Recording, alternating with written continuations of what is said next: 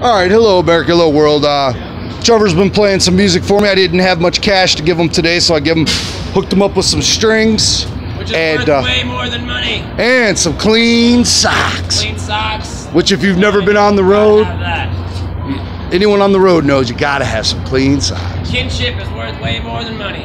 All right, we're Thank with you, we're you with man. the. Nomad Trevor.